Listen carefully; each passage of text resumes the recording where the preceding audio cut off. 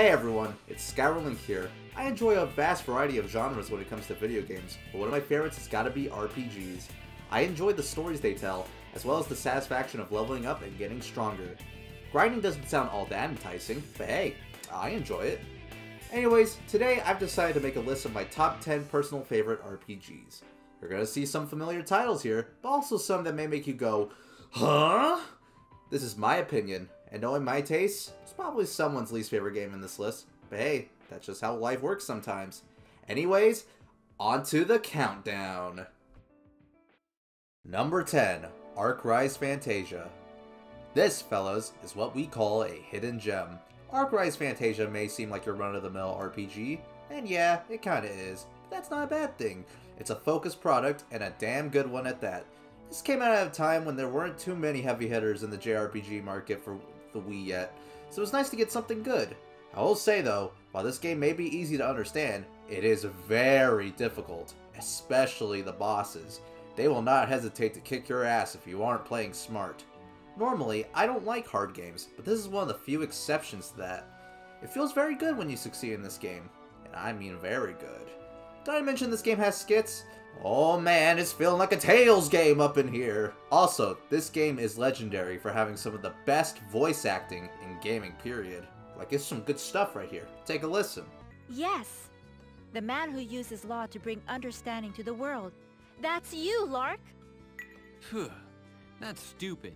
I have absolutely no idea what you're talking about. You're hurt. Let me heal you with magic. Yes, please. Ah! Help me! I don't want to die! Help me, Mr. L'Arc! All in all, this game is very good and well worth your time. So Arc Rise Fantasia, you get a good old thumbs up from me. Number 9, Persona 4. A life simulation game fused with an RPG? Say it ain't so. This little doohickey is a journey following the day-to-day -day life of a silent teen who everyone loves. It's fun, I swear. Please don't leave. This is a child of the Big Boy SMT series, so it's not as difficult as those. Think of it as training wheels. Enjoy this game based on a lot of things. The story is enjoyable, the characters are endearing, the gameplay is fun, and I enjoyed fusing personas. Really helped me feel like a big boy. I played other Persona games, but this one just sat right with me the most. I'd recommend this game for those wanting to get into the Persona or SMT series. By the way, I played the PS2 original and not Golden, so don't ask me if I like Marie, okay? I don't even know who she is. Like, who is this? Who are you? Number 8. Digital Devil Saga. This is the older brother of the Persona series and the second cousin twice removed from the mainline SMT games. Mainline or not, this game is hella solid. It's a more story-driven experience. We're not some silent boy in a post-apocalyptic world, we're a tribe of people in a post-apocalyptic... wait. This is a unique SMT experience as there is no demon summoning involved. Instead, you devour your foes and gain their powers. It's a vor simulator through and through. Also, the soundtrack is god tier. Lots of good stuff in this nice little package, wrapped with a little bow around. I enjoy this game a ton, and it is also my favorite SMT game. Hence why it's here. Shocker, I know. Number 7. Shadow Hearts from the New World. Here's an oddball of an RPG. This isn't your typical fantasy setting because we're in America. More specifically, the era of the Roaring Twenties. Sounds wacky, I know, and it is. I really like this game, and its setting had a huge part in that. It was cool to visit real world locations like Chicago, Rio de Janeiro, and Alcatraz, just to name a few. Another cool feature is the twist of the battle system. Just like the two games before it, the game is turn-based, but your actions are based on the Judgment Ring system. You hit the button in that sweet spot and watch the action take place. It's fully customizable too, so you can fit it to your liking. The game is a fun time, and I wish this little zinger, the whole franchise in general, got more recognition. Oh well, those of us who played them will live to tell the tale. Number 6, Star Ocean Till the End of Time. Here we have the third game in the Star Ocean franchise, as well as my first Star Ocean game. This game follows the adventures of Fayt Leingod as he travels through space and explores various planets. It's pretty cool honestly, and this game I am happy I bought on a whim. It's an action RPG through and through, and this is a pretty chunky package for the time, coming on a whopping two discs, which is something you never really saw once the PS2 came around. There are also many areas to explore and side things to do, like crafting. Yippee! The story is pretty good, as well as hosting some pretty cool characters, even if the voice acting is hit or miss. This game does get some flack for a certain plot twist near the end of the game, I personally didn't mind it.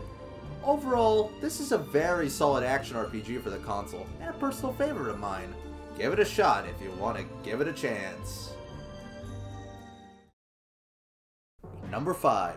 Rogue Galaxy. Oh wowie, another space adventure, but this time with pirates. Sounds pretty rad, huh? Well, it is! At least to me, anyways. Here we have another action RPG, this time by the wonderful Level 5, which is a fantastic studio kicking ass during this era. The cel-shaded graphics help make this game stick out, and it still looks good to this day. The soundtrack is also pretty great too, giving me some major Dark Cloud 2 vibes. The gameplay is fun, and I found the environments on the planets you explore to be pretty good looking. Seems like I'm just into the graphics in this game, like, I mean, look at this stuff. Some good stuff right here. This game seems to be one of those hit or misses for folks, as I see people either talk fondly of it or downright hate it. Me? I really like it a ton. One critique that I will agree on is that the balancing is a little wonky, as a single hit from an enemy takes like one third of your health. But I could overlook that because I really enjoyed this game. It may not be for everyone, but I could definitely say it is for me. Number 4. Tales of Legendia. Look, I'm sure there are better Tales games out there, as there is still so much of these games that I have yet to play, but damn it, I love Legendia. I can see why folks consider this to be a big miss in the franchise, but I've loved every second of this game. I think the combat is simple but fun.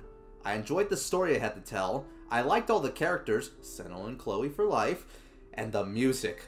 Oh my god, it's all great stuff, which is the one thing all Tales fans seem to agree on about this game. I've played a few Tales games before Legendia, but unlike those, I actually finished this one. It's a shame the character quests aren't voiced, though. That's like my only complaint, really. I honestly don't have a clue how this game became one of my favorite Tales games, since things I've heard make this game out to be bad, but hot damn am I glad that I gave it a shot. I can officially say, Tales is on the menu from here on out. Number 3, Xenoblade Chronicles.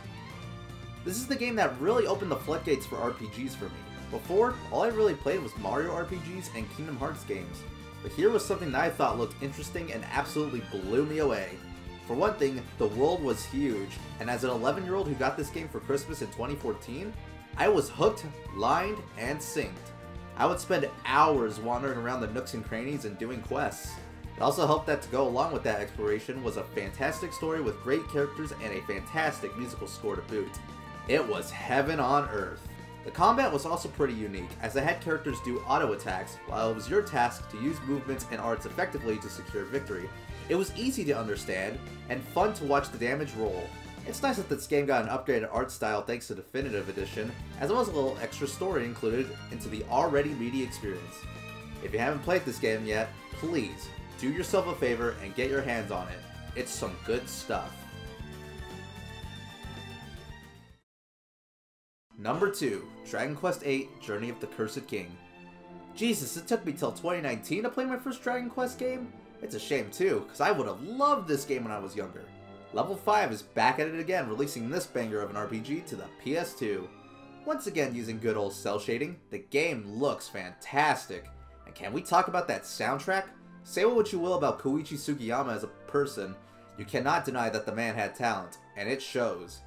This game delivers a bombastic orchestral soundtrack and it is pleasant on the ears. What else is there to say about this game? The combat is simple and classic turn-based goodness, with a pretty neat skill progression system with skill points.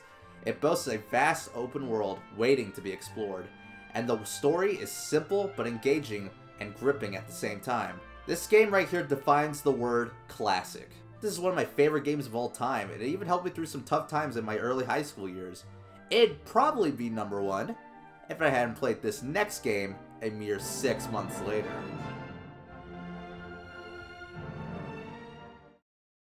Number 1, Final Fantasy XII The Zodiac Age.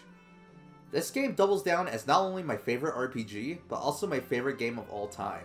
I know 12 has its issues, and I can see why some folks wouldn't care for this one, but I still love it all the same.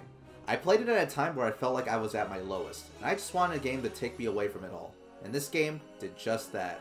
Ivalice is my favorite world that Final Fantasy has ever created. It was so fun to explore and see the political intrigue the story provided.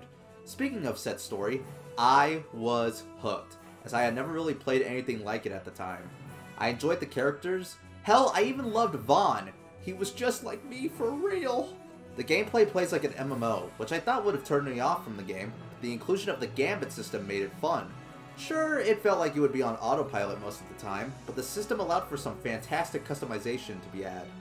The music is heavenly, and the Zodiac Age reorchestrated pieces are a pleasure to listen to. This wasn't my first Final Fantasy, but it was the first one I actually finished. Quite frankly, this game changed my life, and three years after I played it, it has yet to be topped. Well, those were my top 10 favorite RPGs. Apologies if my commentary wasn't up to snuff, as this type of content isn't my strongest suit, but I had a lot of fun gushing about these games. I mean, I wouldn't be making a top 10 list if I didn't really care about them. What are some of your favorite RPGs that you've played? Do I have good taste, or do I have trash taste? Let me know in the comments below, as I love to see discussions happen. Thank you all for watching, and I hope you all have a wonderful day. Peace.